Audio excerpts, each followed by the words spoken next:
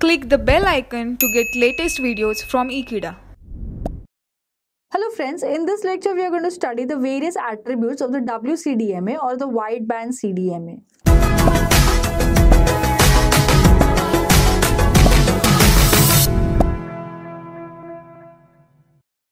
There are various attributes of the WCDMA or the wideband CDMA. These are service flexibility, spectrum efficiency, system capacity and coverage, improved voice capacity, fast access, modulation techniques, quality of service, seamless access, economies of sale, and multi-service per connection.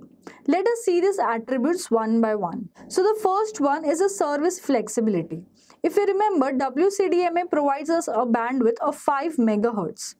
So we can handle mixed data rates over here. Data rates from 8 kbps up to 2 mbps can be transmitted.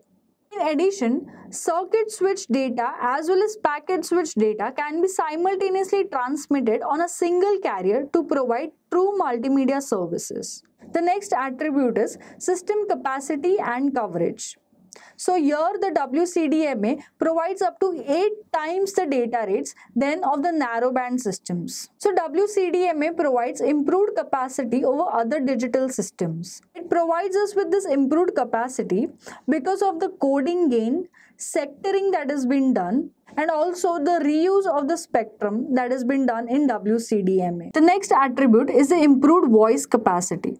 The third generation wireless systems provide a better spectrum efficiency for voice transmission. If we consider the service provider with 15 into 2 megahertz of the bandwidth available for voice communication in a sectored scenario, then in a single sector there can be 192 simultaneous calls. If we consider a three sector scenario, then simultaneously we can have 576 calls. So better spectrum efficiency is provided for voice communication. The next is multi-service per connection. WCDMA allows the circuit switch and packet switch services of varying bandwidths to be mixed simultaneously and delivered simultaneously. So we can freely mix these services and get delivered appropriately. User can access multiple services like voice or multiple data services simultaneously. Hence, it provides better multiple services. The next is fast access service. The connection setup takes tenth of a millisecond to create a setup between the user and the transmitter.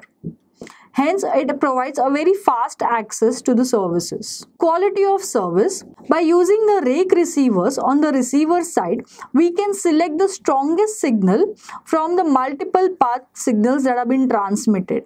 In this way, we can combine the signals and find out the strongest signal. The next is quality of service. By using the rake receivers at the receiving side, what we can do is from the multipath channel effect, we can select the strongest signal that is of our use. Also, we can combine the various signal and provide an enhanced version of the signal at the receiver. Hence, a better quality of service has been provided. The next attribute of the WCDMA is the economy of sale. No costly frequency reuse planning has been done over here. Hence, the system is very cost effective. Also, the transmitted power is very less in the range of 6 to 7 milliwatts. This provides a longer battery life for the user as well. Finally, coming to the modulation techniques used with the WCDMA. In WCDMA, DSSS that is the direct sequence spread spectrum is being used as a modulation technique. Here the user data is multiplied with the PN sequence or the spreading code to spread the signal in the frequency domain. Hence it becomes a wideband signal. At the receiver side, same spreading code or the same PN sequence is required to recollect the data back. So this was all about the attributes of the WCDMA. Thank you so much for watching this video. Stay tuned to Ekeeda and subscribe to Ekeeda.